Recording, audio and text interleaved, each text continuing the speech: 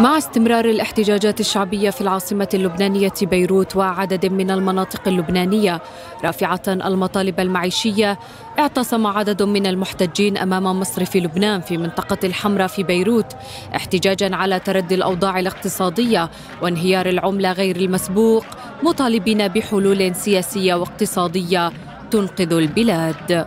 الأزمات المتراكمة والمتداخلة وفي طليعتها انهيار العملة الوطنية دفعت بمجموعات المجتمع المدني إلى تكثيف التحركات الاحتجاجية والمسيرات في شوارع بيروت والمدن الكبرى وسط تصاعد تحركات المحتجين المطالبة بإسقاط المنظومة الحاكمة وتأمين حقوق المواطنين.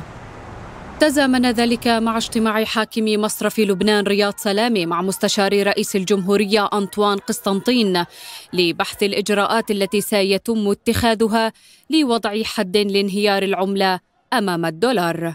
ومن بين الإجراءات التي تمت مناقشتها تدخل المصرف المركزي لامتصاص السيولة وضبط سعر الصرف كلما دعت الحاجة والسماح للمصارف بالتعامل بالعملات الأجنبية وفق سعر صرف السوق.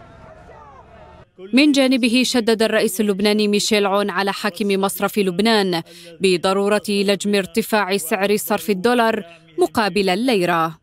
ويتجسد الغضب الشعبي اللبناني في مسيرات وتظاهرات متفرقة وقطع للطرقات وسط توقعات بتسارع وتيرة هذه التحركات في الفترة المقبلة مع الاتجاه لرفع الدعم التدريجي عن المحروقات والمواد الغذائية الرئيسة.